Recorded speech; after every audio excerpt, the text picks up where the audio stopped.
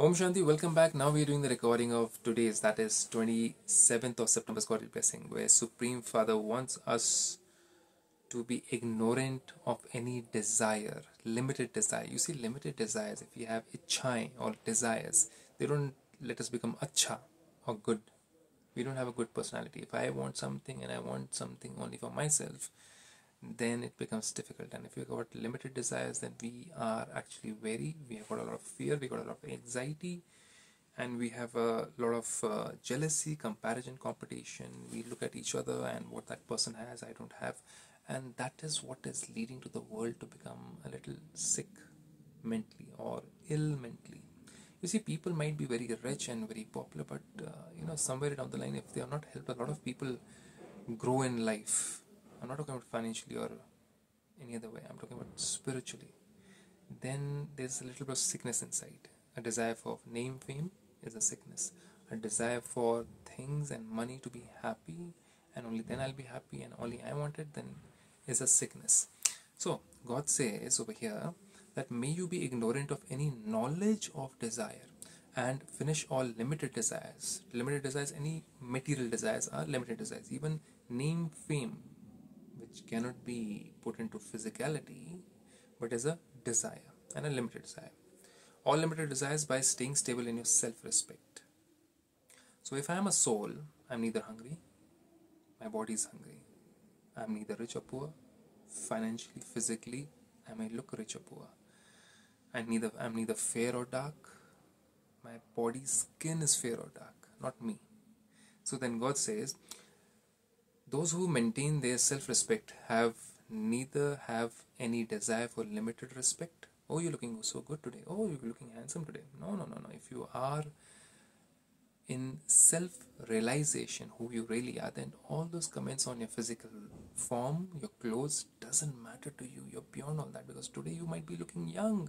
Tomorrow you will get old. Then, if you're so dependent upon your physical looks and the and if you're dependent upon how people look at you and they comment upon you i bet you at the age of 70 80 nobody's going to comment. And that time if you got a habit of craving for that kind of attention then it's going to be difficult for you to even accept yourself. So the true self-respect is a spiritual self-respect which is not dependent upon any physical changes. Because your body is going to change my body is going to change. Your wealth is going to change my wealth is going to change.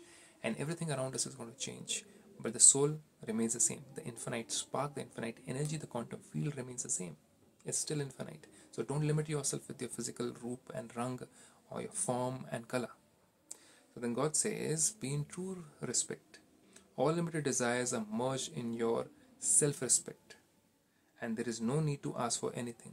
Give me this, give me that. Limited desires can never be fulfilled. Have you ever felt contentment thinking and running after limited desires? Never. Because they can never be fulfilled. One limited desire will create many more desires. If I have this, what if I had that also? Whereas self respect easily finishes all desires. I am not identified by my looks, by my money, by my clothes, by my car, by my wealth. I am identified and remembered by how I treated people, how I behaved around people, how I respected people. Even if people don't say so. But for my own peace, I shall do so.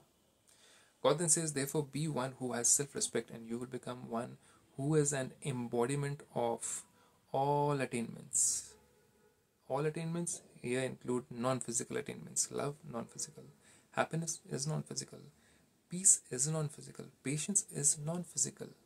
Joy is non physical. Bliss is non physical. So, where are you looking for all of these things? In the limited or the unlimited. God then says, You will become one who is embodiment of all attainments. You will become ignorant of any lack of attainment and desires. Even if somebody in front of you buys a new car, buys a new thing, it won't matter to you. Even if somebody makes a four story next story, it won't matter to you because you are easy with yourself. You are so practiced in soul consciousness. And how do you do that soul conscious practice? The real self practice is what we learn in Brahma Kumaris, and you can attend that 1st of October course, an introductory session where we are going to touch about this the limited versus the unlimited, what do we want to connect to. And with this, Om Shanti.